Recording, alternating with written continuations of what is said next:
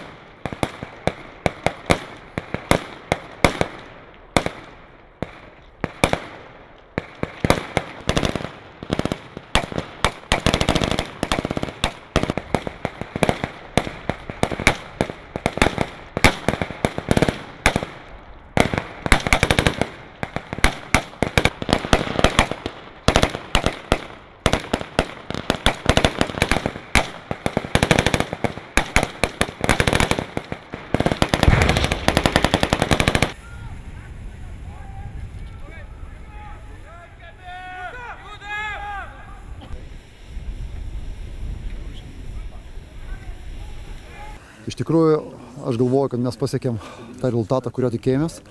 Vis dėlto šios beveik trys savaitės tokios sunkaus darbo vainikavo pakankamai gerą mūsų sąveiką, ypatingai su partneriais.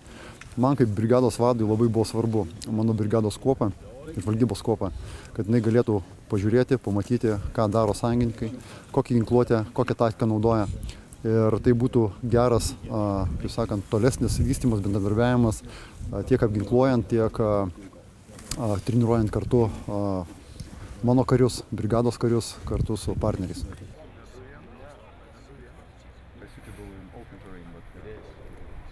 Tai būtent šis Danų kontingentas yra vienas iš tų kontingentų, kaip kad rotacinių kontingentų mūsų Lietuvoje dabar šiuo metu. Kiti vienetai yra pėstininkai, sunkiai pėstininkai, lengvesni pėstininkai, šitie būtent yra žvalgai ir jų būtent rotacijos metu, jų buvimo metu mes tikrai turim puikią galimybę treniruotis, kart, mūsų, treniruoti kartu mūsų žvalgus su, su jų žvalgais. So last uh, training days here in Lithuania, I guess. Yeah. So uh, as, I, as I, when we met first, I mentioned that actually this is uh, probably the future how we will uh, work, will uh, uh, communicate, collaborate uh, together in the in the nearest future because Afghanistan mission, uh, Afghanistan operation will be over quite soon. At least gratitude to, to all of you for your dedication, for your service, for contribution to it.